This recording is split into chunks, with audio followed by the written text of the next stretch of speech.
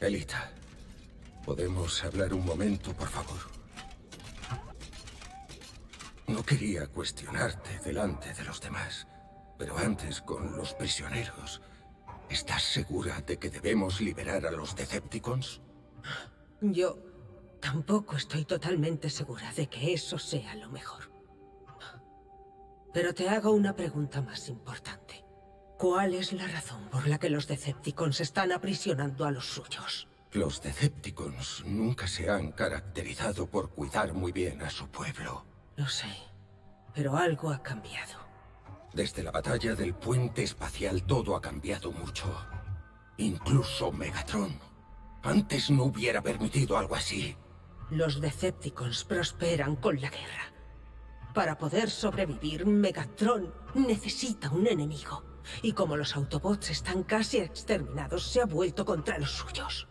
Si a Megatron le ha dado por encerrar Decepticons, déjalo. Deberíamos centrarnos en liberar solo a los Autobots. Son ciudadanos y son cibertronianos. No podemos olvidar eso. No estoy diciendo que tengamos que matarlos, solo que no arriesguemos nuestra chispa y los escasos recursos que tenemos en ayudarlos.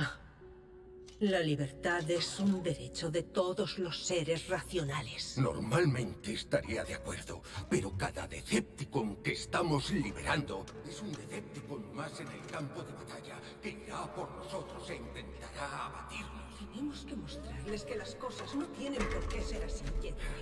El planeta está casi muerto. A todo este sector le han cortado el suministro. Nos superan 100 a 1 en número. Nos estamos quedando sin opciones. Y aún así seguiremos liberando a los prisioneros de los campos y a cualquiera que encontremos. Porque somos Autobots. Y eso es lo que hacemos. Solo expresaba mi preocupación.